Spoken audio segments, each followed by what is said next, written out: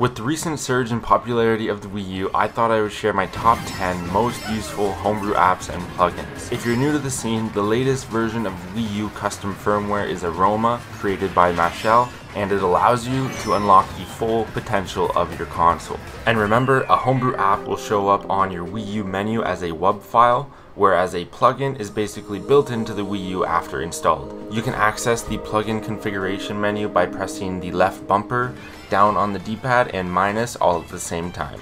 Without further delay, coming in at number 10 is going to be the plugin GiveMiiYouTube. And you guessed it, it gives you YouTube back. Services for the YouTube app on Wii U were discontinued on October 27, 2022, but a well-versed developer named GaryOderNichts said watch this and went ahead and made a plugin that bypassed the 404 error you would get while loading the app. It basically tricks the Wii U into thinking that YouTube still works. You can even still use the QR code to sign in using your phone. Now you do need to make sure you have the latest version of YouTube in order for this to work because the older versions do not work with this plugin. But you're in luck, I do have a video with a download and explaining how to set it up. Yeah, ads suck, but it's a free way to help support your favorite creators. But there you go, you're navigating YouTube with your gamepad on your Wii U. Pretty cool. Next up on the list, number 9, Wii U Shell. This is a homebrew app that gives you access to your SD card directly on your Wii U. It is a great tool when you want to clean up your SD card or move a misplaced folder. The list of features include the ability to copy, move, delete, rename, and create folders. You can display your file size, you can view images, and even extract zip files. Although I haven't personally tried that yet. I did use this app, however, to delete many old homebrew apps that are not supported on the Aroma environment in order to clean up my Wii U menu. So if you hate taking your SD card out to fix up your SD card, then this is a great app to use. Coming in at number 8 is the app WUD. This stands for Wii U Disc Dumper. We all know that Nintendo's biggest fear with homebrew is pirating games. Even though they don't make money from Wii U games anymore, but you know, that's that's fine. But none of us ever have to risk pirating as long as this app exists. It is a homebrew app that allows you to turn your physical copies of games into digital files, allowing you to play them on your Wii U without the actual disc. You can even use the dumped copies on your Cemu emulator on your PC. WUD gives you the option to dump your game in three different formats, WUX or WUD, which can be used on Cemu, and the third option being as a .app file, which can be installed to your Wii U menu. If you're unsure how to install them to your Wii U menu, keep watching the video because that is coming up later. And along with backing up your discs, you can also back up your updates and DLC for that disc as well. And that brings us to number 7 on the list, the Environment Swap app. At this point, Aroma is obviously the latest homebrew environment after replacing its predecessor Tiramisu, but you can actually have both environments set up on your SD card at the same time. The environment swapper app allows you to easily switch between the two environments. Normally, if you wanted to switch environments, you'd have to turn your Wii U off and then turn it back on while holding the X button on your gamepad to get to the environment loader where you can then choose which environment to load into. So this homebrew app streamlines the process by switching environments with the click of a single button. An important thing to know while switching environments, if you are switching to Tiramisu, it will automatically load the homebrew launcher, but if you would prefer to load the Wii U menu on Tiramisu, you need to hold B while loading it from Aroma. Coming in at number 6 is Bloopair. This is a plugin and an app that gives you the ability to connect up to 7 controllers wirelessly using Bluetooth that comes with rumble support and a battery level indicator.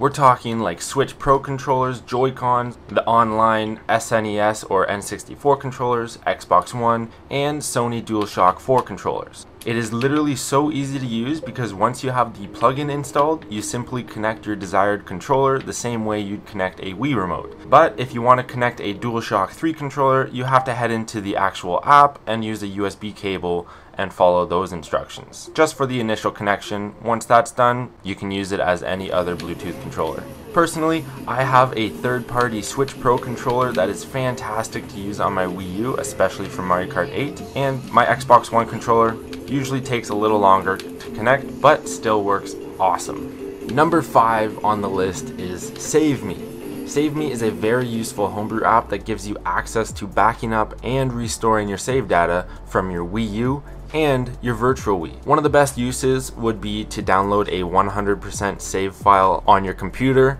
for your correct region of course and restore it to your Wii U so you can unlock everything in games that you want to play online. I have certainly done this for Mario Kart 8 Generations so that when I play online with viewers while I stream, I can play as Funky Kong. Another use for SaveMii is to transfer save data to and from different accounts on your Wii U, and you can also transfer it to a completely different Wii U or to your PC to use on Cemu or Dolphin. So this one is a definite must have. Coming in at number 4 is SDCafiine, which is a top tier plugin created for the Wii U which allows you to mod your Wii U games along with setting up custom Wii U menu themes. Some popular mods include Cloudy, Super Mario Bros. U 2, or The Floor is Lava, or there is online compatible mods like Mario Kart 8 Generations that adds custom tracks and characters. There are tons of fan created mods on GameBanana.com where you can set up and play on your Wii U because of this plugin. On previous homebrew environments, SDCafiine was an app that you had to load before any game in order to play mod, but with Aroma, all you have to do is install the plugin, add your mods, and load up your game. It will bring you to a screen that allows you to select which mod pack you want to play, and it'll also give you the option to load the vanilla version of the game. It will work with a disc or a digital version of your game, and of course, I do have a video on how to set up mods linked in the description if you haven't set any up yet.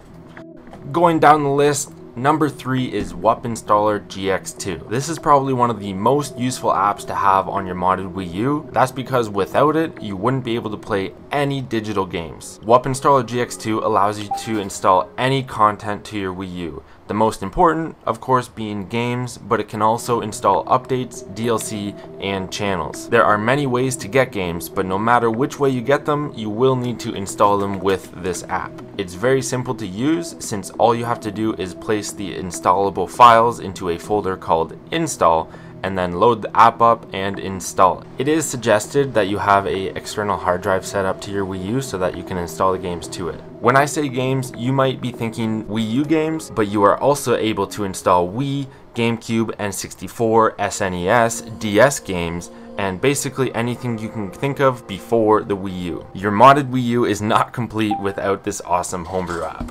Coming in at number two on the list is one of the absolute best plugins. This would be the Inkay plugin for Pretendo. And if you've not heard of Pretendo, let me enlighten you. It was huge news when Nintendo discontinued the use of Wii U and 3DS servers back in April 2024, and while the Wii U's online scene is not massive, there were still tons of people upset. That's where Pretendo comes in. It is a replacement service which hosts their own online servers for free so that anyone can enjoy playing games online again. All you have to do is install the plugin and create your very own Pretendo network ID, which can be done all directly on your console or using the Pretendo website. That's it. Once you have your PNID set up, all you have to do is load up a game that's supported, like Mario Kart 8, and play online as if nothing has changed. Pretendo even brings back the full usage of Miiverse, so as long as you can connect your Wii U to the internet, the Pretendo Inkay plugin is another must-have. And now it's time for the absolute best homebrew app you can have on your modded Wii U. Coming in at the number one spot is the Homebrew App Store. It's pretty self-explanatory. It allows you to download anything related to Homebrew directly on your Wii U. So every single app or plugin mentioned in this video, you can simply turn your console on, load up the Homebrew App Store, and download it straight to your Wii U. You don't even have to touch your SD card, which is fantastic. Along with apps or plugins, you can even get fan-made games like Flappy Bird, all with the click of a button. While it's not technically a necessity to have, since you could just unplug your SD card from your Wii U, put it in your PC, search up the app, extract the file, load it into the SD card with the proper setup, you don't have to do any of that. It saves you a lot of time and also gives you the ability to get the updated versions of apps or plugins seamlessly.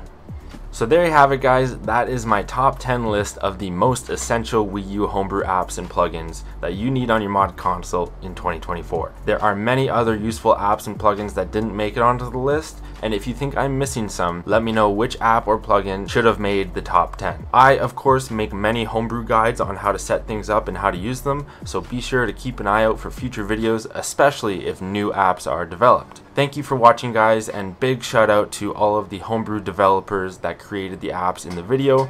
They of course wouldn't exist without them. I look forward to hearing your thoughts in the comments, and as always, stay funky and happy modding.